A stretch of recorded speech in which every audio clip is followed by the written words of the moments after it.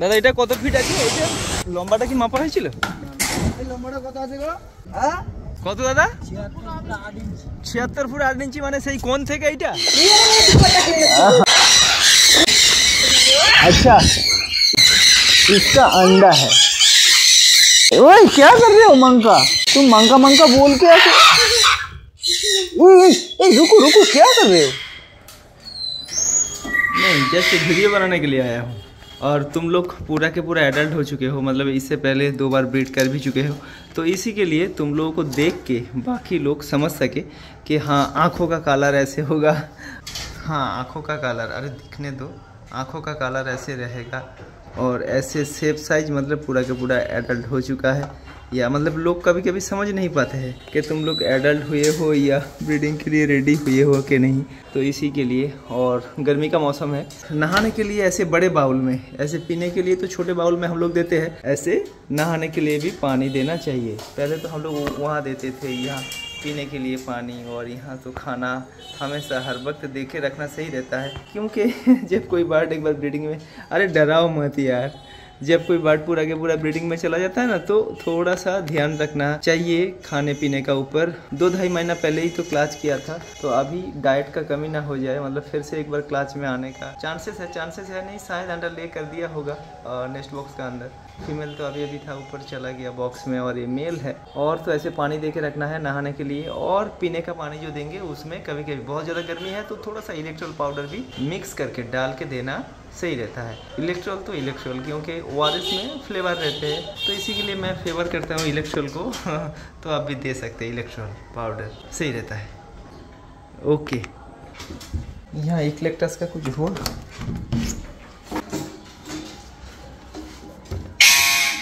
रुको, कुछ नहीं करेंगे। नहीं, बहुत दिन हो चुका है। ये शायद खराब हो चुका है। पटेल नहीं हुआ शायद। ठीक है छोड़ो। ये फ़र्स्ट क्लास है सेकंड क्लास में कुछ ना कुछ होगा।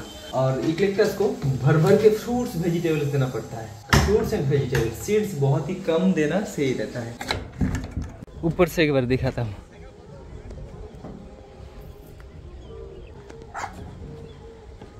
सीढ़ी कहाँ से बनेगा? सीढ़ी बनने का प्लान चल रहा है। कि ऊपर तो चढ़ना होगा ना, कि मतलब बार्ड्स को ऊपर भी खाना देना होगा। सारे बार्ड्स तो नीचे जाके खाना पसंद नहीं करते, इसी के लिए ऊपर भी डालना होगा।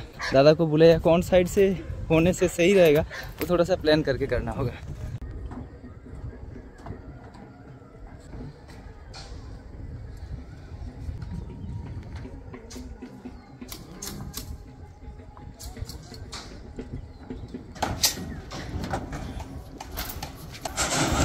দাদা এটা কত ফিট আছে? ওইটা ওই ওখান থেকে এটা? টোটাল আছে উনিশ ফুট ছয় ইঞ্চি আছে। ও আচ্ছা উনিশ ফুট ছয় হ্যাঁ। আর ওদের দুটো চার উনিশ ফুট আহ, দশ ইঞ্চি আছে। লম্বাটা কি মাপা হয়েছিল। এই সাইডটা মাপা হয়নি না? এই লম্বাটা কত আছে গো? হ্যাঁ? কত দাদা? ছিয়াত্তর ফুট আট ইঞ্চি। ছিয়াত্তর ফুট আট ইঞ্চি মানে সেই কোন থেকে এইটা? তোমার ওইটা? ওপারটা? এইবারে ছাদের উপর দিয়ে আমগুলো পাড়া যাবে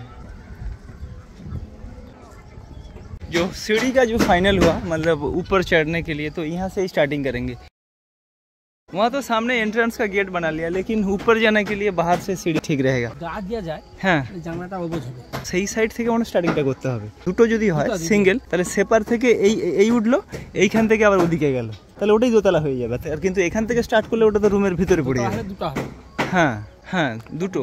তাহলে স্টার্টিংটা তোমাকে ऊपर থেকে করতে হবে বোধ हाँ यहाँ से ही करना होगा। फाइनली जो डिसाइड हुआ सीढ़ी यहाँ से स्टार्ट होगा वहाँ तक जाएगा इसका नीचे तक और यहाँ से फिर से वहाँ ऊपर जो छत बनेगा वहाँ तक जाएगा। और ये देखो सारे स्वान से यहाँ पानी पी रहा है और उमदा लक्खी सरस्वती गंगा। लक्खी सरस्वती और गंगा ये तीनों तो एकदम ठीक है।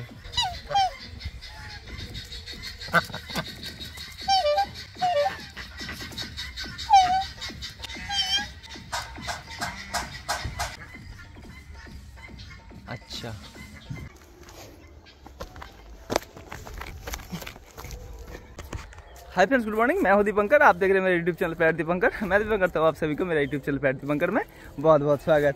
और तो ये रहा हम लोगों का वो ड्रीम एवियरी बनने का काम तो लगातार चालू है और आज थोड़ा सा अंदर जाके करीब से दिखाएँगे कि कैसे, किस प्लान से क्या बनने जा रहा है। थोड़ा सा एक आइडिया आप सभी घर शेयर कर देंगे। यहाँ तो सारे जो कलम बनना था अबाउट ट्वेंटी फीट्स का तो वो सब तो बन चुका है और वो साइड में, वो साइड में बिल्डिंग्स बन जाएगा, दो तल्ला करके, ठीक है ना? तो दो तल्ला जो बिल्डिंग्स बनेगा, इस साइड में जो है ये तो मतलब फ्रंट की तरफ़ मतलब एवियरी का एक साइड होगा ये वाला। यहाँ थोड़ा सा आगे जाके दिखाता हूँ। ये जो साइड है ये जो साइड है, इस साइड में पूरा मतलब ऐसे पार्टीशन पार्टीशन पार्टीशन पार्टीशन बन जाएगा। ये नीचे है, इसका ऊपर जो छत बनेगा, और एक सेट बनेगा, जो छत बनेगा, वहाँ भी ऐसे सेपरेट सेपरेट मतलब पार्टीशन कर देंगे दो, चार, और बाकी का ऐसे ओपन स्पेस रहेगा, क्योंकि ये जो है, यहाँ तो पूरा चारों तरफ़ ओपन ही रहेगा, सिर्फ़ ऊपर से नेट छाया जाएगा। यहाँ का सारे बर्ड्स जब उन लोगों को सेट में जाने का ज़रूरत होगा, धूप के टाइम या बारिश के टाइम तो उसका नीचे ऐसे करके जा सकते हैं, वहाँ पार्च पार्च लगा देंगे, बहुत खूबसूरत तरीके से बनाएँगे। और ये जो साइड है, ये तो पीछे का वॉल है जैसे बताया, और सामने बर्ड्स का एक्सेसरीज वगैरह वगैरह खाना और मेडिकल के लिए, ट्रीटमेंट के लिए भी तो एक दो रूम का ज़रूरत होगा। तो ये सब मतलब ये सब रूम का गेट सामने से रहेगा। ये हो गया एक साइड और वो तो एकदम पीछे की तरफ़ मतलब एकदम पीछे का साइड में से अंदर तो सेड रहेगा पार्टीशन रहेगा, ऊपर भी ऐसे हो जाएगा। और इस साइड का ऊपर मतलब ये जो दीवार है, ये तो नीचे का दीवार है, लेकिन ऊपर जाके उस साइड का जो पीछे का जो दीवार होगा, पीछे का दीवार से उठेगा, ठीक है ना? तो ये भी पूरा बन जाएगा। और छत का लेयर लेके पूरा एकदम नेटिंग हो जाएगा। नेट तो हम लोग का वहाँ पड़ा है। ठीक है ना? और तो एंट्रेंस कहाँ है? मैं जाके दिखाता हूँ। कोने में एक रूम हो गया, यहाँ एक रूम हो गया, ये रहा हम लोगों का एंट्रेंस ठीक है ना? यहाँ से तीन गेट बनेगा, यहाँ एक गेट बनेगा मिडिल में एक बनेगा और वो सामने एक बनेगा, ठीक है ना? तीन गेट और यहाँ तो यहाँ से हम लोगों का एकदम, उस साइड से तो हम लोगों का मेन गेट है और यहाँ से आके पूरा, इस साइड तो पूरा खाली रहेगा, बाकी आगे धीरे धीरे धीरे धीरे और भी बहुत कुछ बनेगा। ऊपर ऐसे एक सनसेट की तरह बढ़ा दिया गया है, ताकि बारिश के टाइम पानी का छीटा ना आए। और इस साइड में तो पूरा सेंटरिंग का काम कंप्लीट हो गया है। छाद एक दो दिन में डल जाएगा। क्योंकि मिट्टी तो अभी अभी गिराया गया है। बहुत अच्छे तरीके से पीटा गया है। फिर भी बारिश होगा और ऊपर छाद का जब लोड आएगा, तभी अगर नीचे डाउन हो जाएगा तो छाद मतलब मुश्किल हो जाएगा, बहुत मुश्किल हो जाएगा। तो इसी के लिए और दो तीन दिन तीन दिन के बाद शायद ये पूरा कंप्लीट हो जाएगा, क्योंकि रॉड बाइंडिंग का काम अभी भी चालू है। और बहुत टाइम लग रहा है। हमको भी पता है कि मतलब पिछले डेढ़ सालों से ऐसे होगा होगा, कब होगा कब होगा। लेकिन इतना बड़ा स्पेस है तो टाइम तो थोड़ा लग ही जाएगा। लेकिन एक बार बनेगा बहुत मतलब पूरा लाइफ टाइम के लिए। तो थोड़ा सा सोच समझ के। और सबसे बड़ा चीज़ है, थोड़ा मजबूती के साथ हम लोगों को बनाना पड़ता है। क्योंकि यहाँ तो साल में दो बार, तीन बार करके तेज तूफ़ान का सामना करना पड़ता है। तो इसी के लिए बिल्डिंग को ऐसे ही मजबूती के साथ नहीं बनाएँगे। तो इतना सारा मतलब पंछी एनिमल्स को लेके तूफ़ान के टाइम बहुत ही मुश्किल में पड़ जाएँगे। तो इसी के लिए जो बनाना है, एकदम कॉन्क्रीट परफेक्ट मजबूती के साथ बनाना होगा। ठीक है। चलो चंद्रा। और बहुत दिनों के बाद हम लोग दोनों एक साथ मैं और चंद्रा हम लोग पुराना गाँव पे आए हैं और दोपहर के बाद और वो देखो जो बताया था ना इसका मतलब वो अकेले ही अंडा ले किया है। चलो अंदर जाके दिखाएँगे। लो चंद्रा इसे साफ़ करो। मंका मंका वैसे तुम भी आ गए?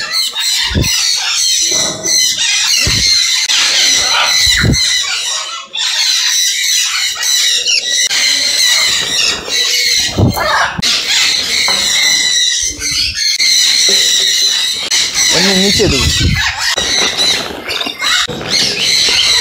सर, एलिमेंट बहुत पसंद करता है, सर। ओए। नहीं, काटना नहीं। कौन आ रहा है। मन का।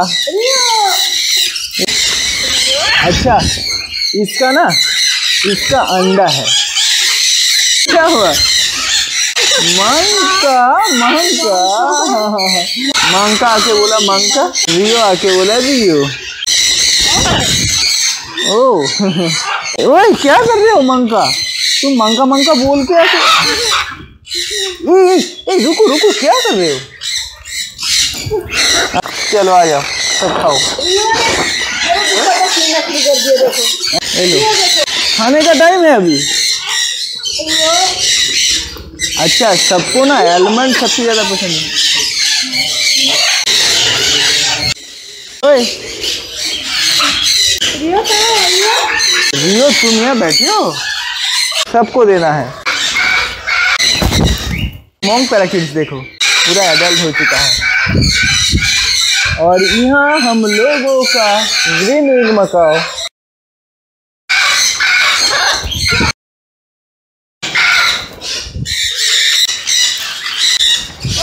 और तो उम्मीद करता हूँ आज का वीडियो आप सभी को बहुत ज़्यादा पसंद आया। वीडियो को अच्छा लगा तो एक लाइक कर दीजिएगा।